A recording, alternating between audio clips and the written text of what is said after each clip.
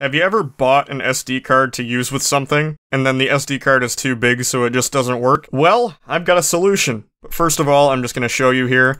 I've got a 128 gigabyte SD card. This is whatever it was shipped with by default. It's exFAT. If you check there in the properties, I've got all the files in here that my device needs to run uh, with this SD card, so let me just eject it real quick. Uh, I'm Just for an example, I'm going to be testing this with a Nintendo DS flash card, so I'm just going to bring this up here real quick.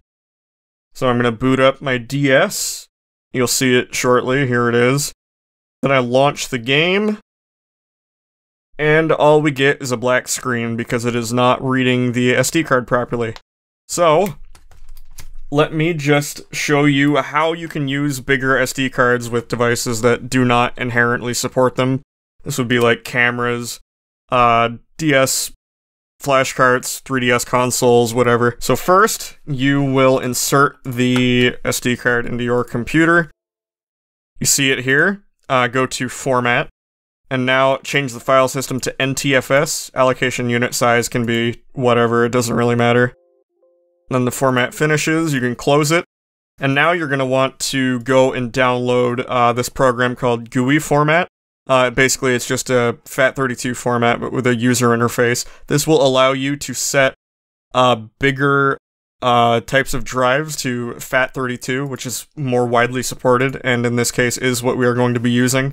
So as you can see here, drive F, uh, that's my SD card formatted in NTFS. We're going to set the allocation unit size to 32 kilobytes, or 32768. Volume label, I'll just call it like R4, whatever. Doesn't really matter.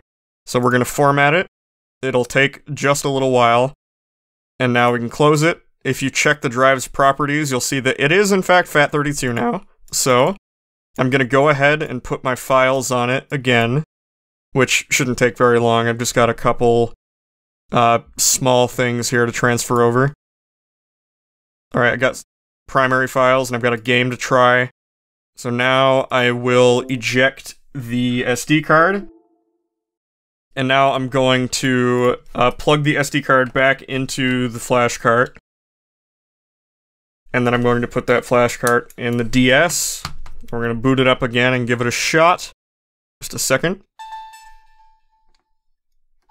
And this time when we start it, it loads perfect.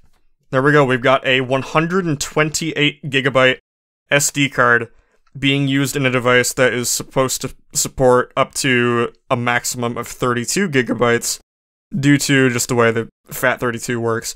So yeah, as long as you have a bigger SD card, you can use tools like GUI format to force them into FAT32, and then they should work on these older devices. So yeah, I hope that was helpful. You can find a link to GUI format in the description. Feel free to give it a shot. Thanks.